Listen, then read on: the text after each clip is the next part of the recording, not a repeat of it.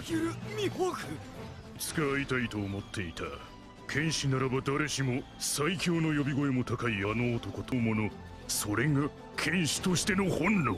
珍しいこともあるもんだね。あの気まぐれな鷹の目が戦う気になっちょるようじゃの相当の手だれでもその目を見ただけで戦慄し恐怖で動けなくなるという白ひげ海賊団の隊長たちともなるととことん化け物じみてるね。まった言わんのかお前。被害少なく蹴りをつけるにゃちゃっちゃと頭取るしかねえでしょ押し量るだけだ。近くに見えるの男と我々の本当の距離を世界最強の剣士の持ち物にふさわしい名刀。北東夜世界に12校しかない。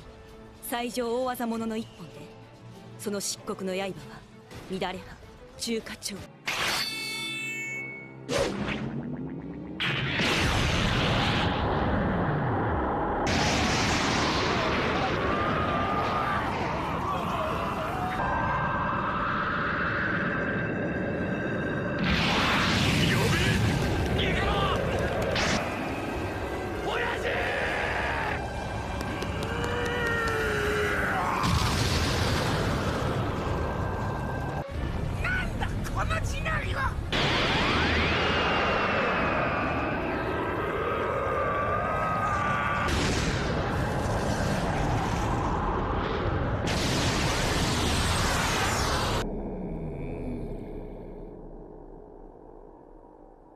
止めた。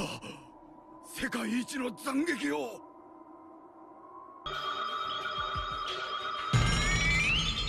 三番隊隊長ダイヤモンド・ジョーズ！部